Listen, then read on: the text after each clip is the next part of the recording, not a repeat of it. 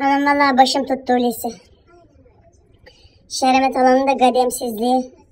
Kız istemeye gidiyoruz, kız istemeye gidiyoruz. 50 yaşındaki garıyı bize istetecek. Satılmış da demez mi o da sen ne karışıyorsun işimi bozdun diye. Bak sen ha, hay gidi hay. Ben orada doğruları söylüyorum. Bana ne de ne karışıyor.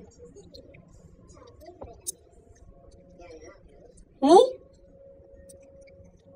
Kızın gözler, kız, kızın gözler gidik. Yok. Allah tövbe estağfurullah. Yarın Allah'ın gücüne gitmesin emmi. Tamam satılmış da kel. İşte kel kör uyarlar birbirlerine. Emmi yani ben de orada doğruyu söyledim kız geçkince. Satılmışım babaannesi gibi duruyor yanında. Vallahi ben yanında kız gibi rahatım. Sana nasıl getirdi o kahveyi? Sen de oradan mı gıdık susuyorsun? Sen saf saf bakıyorsun. Hemen bir karı sana doğru böyle eğilsin sana doğru gelsin. Zannediyorsun kendini Helendelon. Var ya o Helendelon diye bir herif vardı ya. Sen de ona benziyorsun. Uyurken benziyorsun gözünü kapatınca. Ona bakarsan ben de ben Türkan Şoray tabii bana köydeyken ha.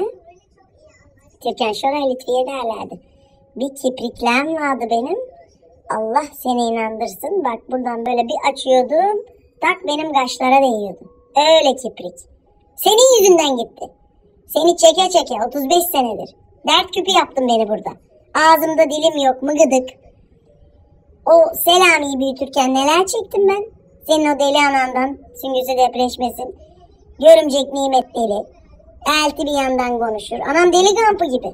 Hangi birinize ilaç dayayayım da ben psikolojikçi olayım? Tabii canım gitti kipriklerim döküldü. Evet. Herif bizi kovaladı. Çantayı benim üstüme attı ama senin yüzünden. Sen niye o da kızın elinden kahveleri çekiştiriyorsun? Ver kızım sen bana derken adamın ayağına bastın orada. Ayağında nasır varmış herif zıpladı havalara. Bir küfür de salladı orada.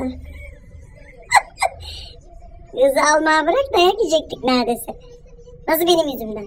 Hayır hiç benim hiçbir şey. Ben Bak benim yüzümde gözüm var. Ben gördüğümü söylüyorum. 50 yaşındaki garıyı istetmen gibi bütün gün benim ve köpeğimi uyutmadı.